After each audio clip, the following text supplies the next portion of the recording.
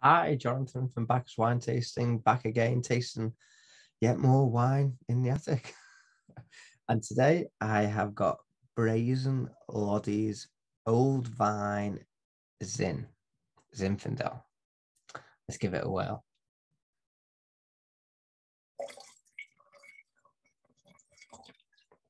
So, those of you that may be somewhat confused by Zinfandel, looking a bit red, uh, will of course be thinking about white Zinfandel or the rosé. A bit more on that a little bit later.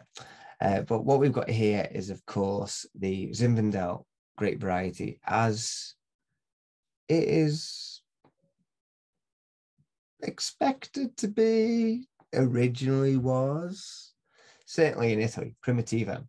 Um, and it was exported like all grape varieties are um, around the world in that age of exploration. And Zinfandel is a great variety that was really uh, latched on uh, in the USA uh, because of it not needing to be trellised um, and, and, and being a bush vine, which leads in quite nicely to the old vines that we have here in excess of 40 years old. So uh, let's give it a little taste first of all as a a very very brooding deep ruby color vintage is 2019 so there's somewhat of a you know a few years on there. The nose is very very complex actually. There's a there's a lot of dark fruit character going on but there's a lot of secondary characteristics as well. Maybe just a the hint of something tertiary going on as well, just a sign of what might come in the future.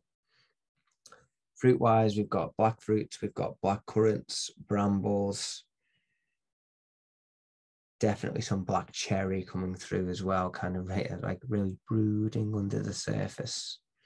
Cedar's really strong, a little bit of vanilla spice, earthiness, smokiness. And what is really, really nice actually is that kind of cocoa mocha coffee kind of combination going on as well, which is really, really pleasant for this wine.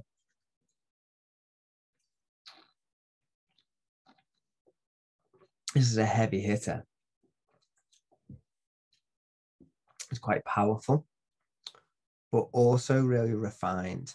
The tannins really rounded, really smooth, very, very well integrated, gives a great perception of of height and body, finish, the flavors of the black fruits, that those black forest fruits, that black cherry in particular, really lingers.